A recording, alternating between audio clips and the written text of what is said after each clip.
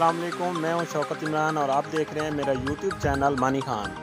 मैं आज आपको अपने प्यारे गाँव की सैर कराऊँगा और प्यारे गाँव के खेतों की सैर कराऊँगा। इस तरह की प्यारी और मज़े की वीडियो देखने के लिए आप सबसे पहले मेरे पेज को सब्सक्राइब करें। अब चलते हैं अपने खूबसूरत और प्यारे गाँव के खेतों को देखने के लिए मेरे साथ चलें।